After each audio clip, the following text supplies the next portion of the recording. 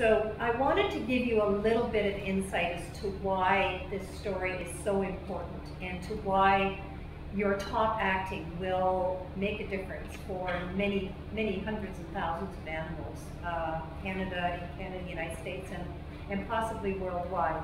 The story begins actually in Durham region, interestingly, in 1991.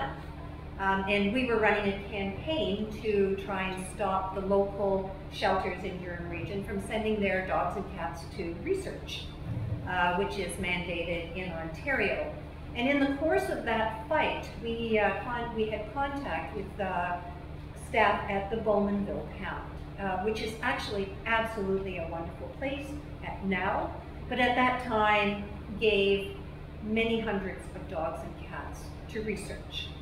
And the staff who took care of the animals on a daily basis and fell in love with them hated it when the research truck arrived and they had to put the leash on the dog's neck and walk that animal up to the truck, the cats up in their cages, and take them to the truck and watch them drive away and not know what their fate is. So they called us knowing that we were having this fight in Durham region and they said, uh, will you help us? And we said, of course we will, call us when uh, you think that there's an animal risk, we'll come out and, and get that animal. And so the day we got the call, a frantic call from the staff to say that this little dog by the name of Jessie had arrived at the pound a number of days before and had been there because her family had separated and neither side of the family wanted her.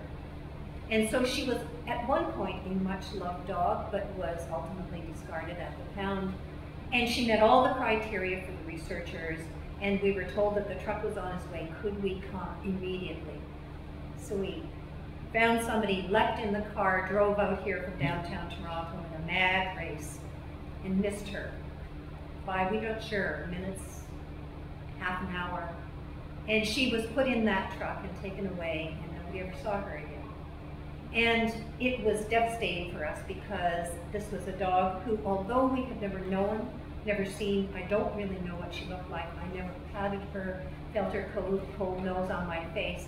I fell in love with her and we decided then and there that we would form our rescue program called Project Jessie and that we would do our best to make sure that no other animals from Durham region, in fact in Ontario and elsewhere, would go to research and that's what we've done for 21 years. It's interesting, I was invited by the research institution to come in and uh, a couple of years after Jessie was lost to us, uh, into the institution that she went to.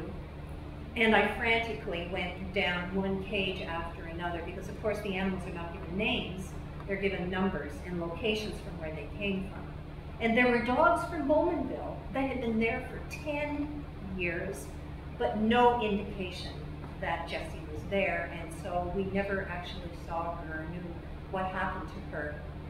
Um, and so we've been working on this campaign to stop these animals from going, and we, in 2001, were contacted by a wonderful woman by the name of Laurie Bishop, who had moved from Alberta into Dundalk, Ontario, with uh, her family and her two dogs, Wally and Royal.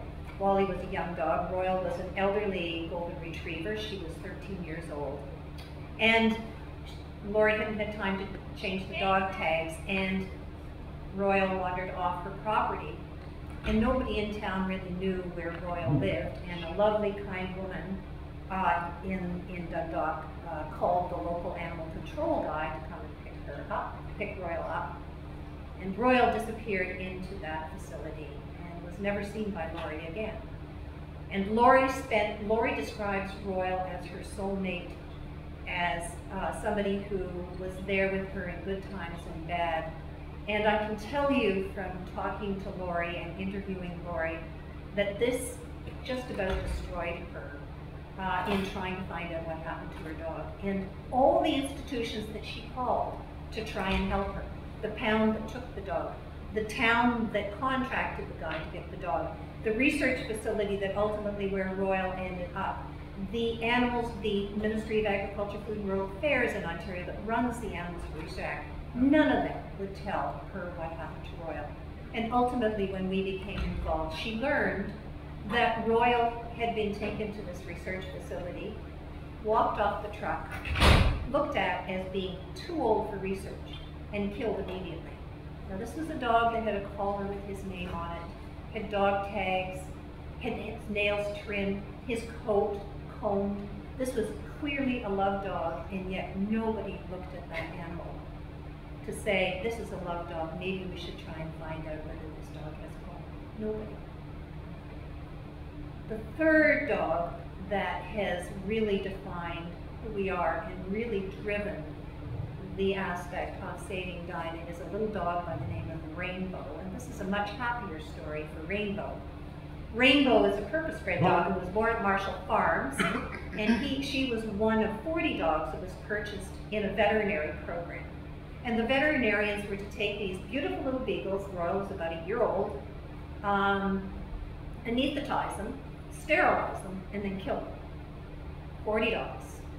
All to teach a veterinarian how to do a sterilization. Now that seems moronic to me, um, to do the sterilization and then not adopt the dogs out, but nonetheless that was the program. We met a very courageous student whose name was Dr. Anya Yushenko, who was Rainbow's uh, student, and she refused to kill her dog.